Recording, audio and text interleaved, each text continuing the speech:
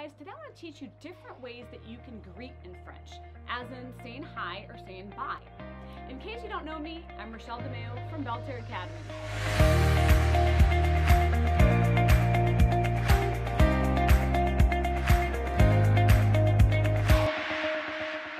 So of course you probably have heard of bonjour, bonjour, but sometimes it actually is a little bit diminished. You might have seen the video that actually explains why some words you might not understand in French because they're kind of like mumbled together, as in bonjour, bonjour.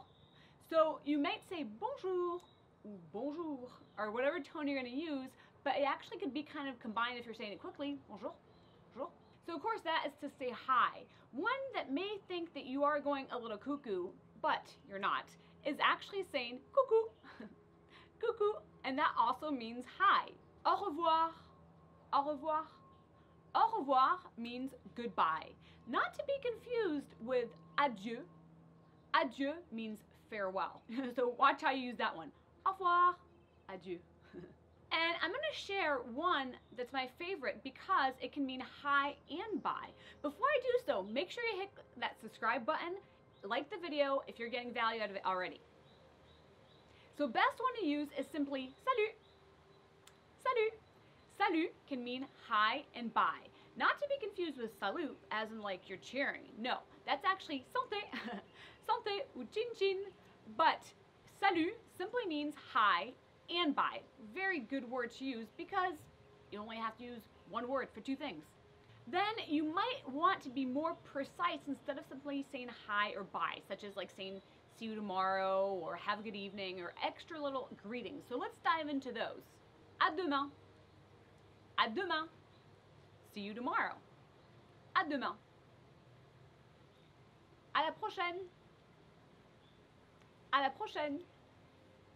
See you next time. Bonne journée. Bonne journée. Bonne journée means have a nice day. So bonjour is like saying hi, as in like you're greeting, like this is a good day. Hello, literally.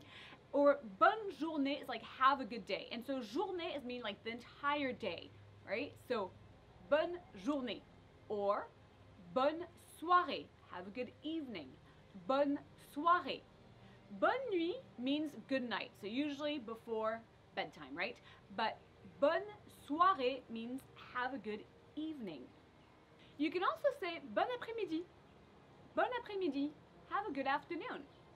So depending on the time of day, you might just want to switch it up. But it is good for you at least to be able to identify and know what people are telling you. Bon weekend. Bon weekend. Have a nice. You got it. Good job. Bonnes vacances. Bonnes vacances. Have a nice vacation. You might have noticed that the use of bon, bonne really depends if it is a feminine or masculine noun, right? And so that's why you would choose using bon versus bonne.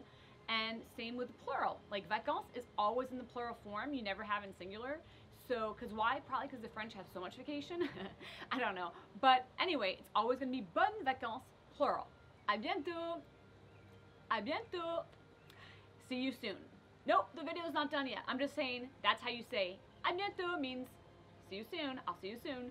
Or you can also say à plus, à. And you could diminish that if you're writing a text message, for instance, and actually put the plus sign. If you want to know more about texting in French, watch this video next.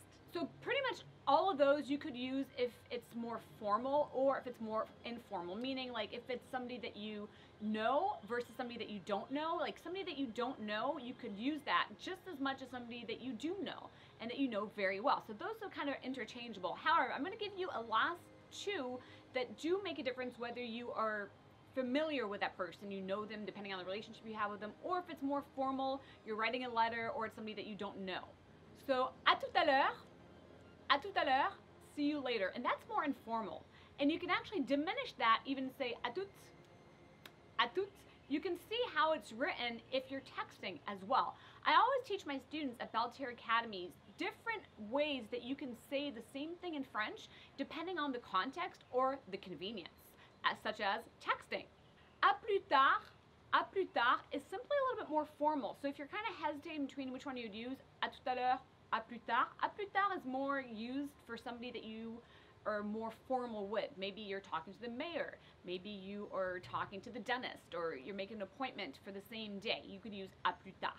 And I do have that video that you might have seen on how to make appointments in French. And then finally we have à plus. À plus is more familiar or everyday language. So again, like telling my students when they take the French classes at Belle Terre Academy, I'm always trying to guide them in which they should use and the best and easiest ways to remember all these words. It's based on different factors, believe it or not. But à plus simply means like, hey, see you later.